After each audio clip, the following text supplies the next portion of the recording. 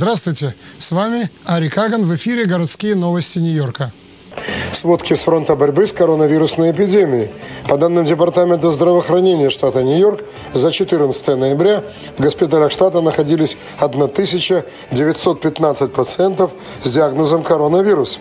3,25% тестов на COVID-19 вернулись в этот день с позитивными результатами. 29 жителей штата Нью-Йорк ушли из жизни 14 ноября из-за коронавируса.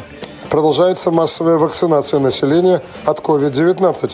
Если говорить про категорию населения в возрасте старше 18 лет, то здесь 77,5% получили необходимые прививки, а среди всего населения 67,6%.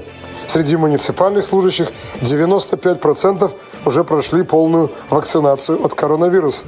Меньше всего получили прививки от COVID-19 э, представители пожарного департамента, а выше всего сотрудники департамента социальных услуг. Большой скандал разразился в ряде департаментов в связи с тем, что там были обнаружены фальшивые карточки о вакцинации. В частности, скандал разразился в пожарном департаменте и в департаменте коммунального хозяйства среди уборщиков мусора, которые представляли фиктивные карточки о своей вакцинации и также представляли э, справки мошеннического характера об исключениях по медицинским показаниям. На пресс-конференции мэр города Билл Блазио заявил, все виновные в мошенничестве будут наказаны. Наша цель, сказал он, стопроцентная вакцинация всех муниципальных служащих до 1 декабря, за исключением охранников тюрем. И, и он сказал, что это необходимо, потому что муниципальные служащие ежедневно общаются и работают с населением. И они должны быть уверены в том, что и они, и те, кто к ним приходят, обращаются за помощью, они находятся в безопасности. Поэтому, по его мнению, все работники города Нью-Йорка должны обязательно получить необходимые прививки. С сегодняшнего дня власти штата Нью-Йорк больше не принимают заявления программу экстренной помощи в оплате за аренду жилья – Emergency Rental Assistance Program, IRAP.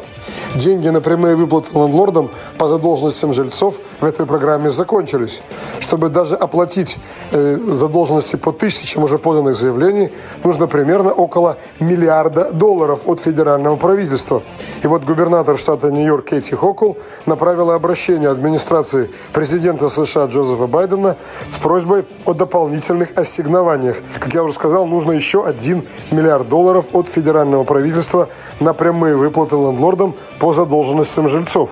Всего в рамках этой программы было подано более 280 тысяч заявлений. Из них 165 тысяч заявлений были утверждены и выплаты сделаны. Ну а все остальные десятки тысяч заявлений все еще ожидают покрытия из-за нехватки средств. Всего было выплачено лендлордам 2 миллиарда 400 миллионов долларов, что, конечно, очень помогло тем людям, кто потерял работу или финансово пострадал за время коронавирусной эпидемии. Обращение губернатора Хокул к федеральному правительству поддержали также 17 членов Конгресса США от штата Нью-Йорк сегодняшнего дня городская избирательная комиссия начинает открывать и считать высланные по почте бюллетени для досрочного голосования absentee ballots. Почти все политические гонки в Нью-Йорке уже полностью завершились. Остались неподсчитанными только результаты еще в трех гонках в Горсовет Нью-Йорка – 43-й округ Горсовета, это район Бэй-Ридж и Дайкер-Хайтс в Бруклине. Здесь действующий депутат Горсовета демократ Джастин Бреннан пока уступает своему оппоненту, республиканцу Брайану Факсу, 255 голосов. Но в этой гонке не подсчитано еще более чем 1600 бюллетеней для досрочного голосования. Подавляющее большинство из этих бюллетеней было прислано в горосберком демократами. В 47-м округе Горсовета Нью-Йорка в Южном Бруклине, это районы Сигейт, Кони-Айленд, Ворбас, Бичхевен, Грейвсенд и Бенсон-Хёрст, я лидирую в этой гонке с перевесом 518 голосов. И не подсчитано еще 1029 бюллетень для досрочного голосования, absentee ballots. Из них около 800 бюллетеней пришли в горосберком от зарегистрированных демократов, поэтому я сохраняю оптимизм. И, наконец, в Квинсе бывший сенатор штата Нью-Йорк, демократ Тони Авелла, пока уступает своей республиканской оппонентке Вики Паладино, это 19 округ Горсовета, 1653 голоса он проигрывает пока. Здесь не подсчитано еще около 2000 бюллетеней для досрочного голосования. Вики Паладино, э, член республиканской партии, абсолютно уверена, что она выиграла эту гонку, так как разница очень существенная в ее пользу, и ее округ, который включает районы Квинса, Бейсайд, Колледж Пойнт, Уайтстоун, Литл Нек и Северный Флашинг, выиграл в этом округе кандидат в мэры города, республиканец Кертис Слива. Поэтому Вики Паладина считает, что она в итоге выиграет в этой гонке. И если все это так и произойдет, как сейчас ожидается, то фракция республиканцев увеличится с нынешних трех депутатов до пяти депутатов. В целом, нью-йоркские средства массовой информации отмечают, что сразу несколько этнических и религиозных общин дружно проголосовали за республиканцев. Это русскоязычная община, ортодоксальная еврейская община и китайская община. Таким образом, эти три общины выразили свой протест против политики мэра города Билла де Блазио. Рост преступности, кризис с бездомными, ухудшение уборки улиц, отмена программ для одаренных и талантливых детей и другие проблемы.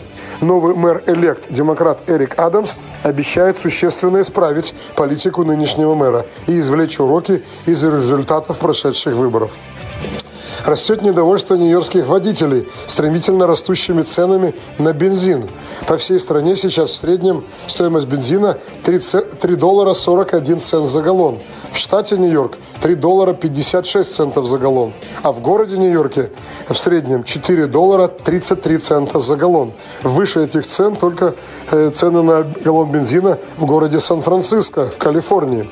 В минувшее воскресенье лидер Сената США, демократ Чарльз Шумер, призвал администрацию президента Джозефа Байдена использовать нефть из Федерального резерва для снижения цен на бензин, а также принять ряд других экстренных мер, например, временно запретить экспорт американской нефти за границу. Тем временем консервативные политики республиканцы обвиняют администрацию Джозефа Байдена в закрытии нефтепровода Keystone Pipeline из Канады в США и введении ограничений на добычу нефти в ряде регионов, как главную причину взлета цен на бензин, помимо, разумеется, объективных факторов цены на индюшки в канун Дня Благодарения э, в среднем выросли в городе Нью-Йорке на 22%. Причин здесь несколько, в том числе проблемы с доставками вообще любых товаров, э, проблемами в портах, нехватка там грузчиков и портовых работников, рост цен на бензин, инфляция и другие факторы. При этом спрос на замороженные индюшки в магазинах в ноябре 2021 года на порядок вырос. Он выше, чем в прошлом году. Особенно на индюшки небольшого размера. Некоторые горожане закупают э, индюшки в магазинах на севере штата, на Лонг-Айленде, а также ездят в штат Нью-Джерси. Они говорят, что это все равно дешевле, особенно если покупать несколько индюшек. Рост числа пассажиров наблюдается в Нью-Йоркском метрополитене. Транспортное управление штата Нью-Йорк объявило, что пассажиропоток в Нью-Йоркском метрополитене активно растет.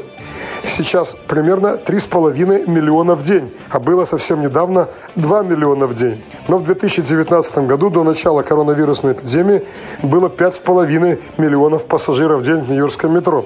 И все же тенденция наблюдается к росту числа пассажиров в Нью-Йоркской подземке. И причин здесь несколько. Резкое уменьшение преступности в метрополитене, увеличение числа полицейских на платформах и на всех станциях метро, оживление экономики города после эпидемии, увеличение числа туристов, возвращение в офисы муниципальных служащих, растущая дороговизна бензина, которая вынуждает водителей переходить на общественный транспорт, дешевая стоимость проезда в э, метро, 2 доллара 75 центов за поездку, а если покупаются проездные метрокарты, еще дешевле.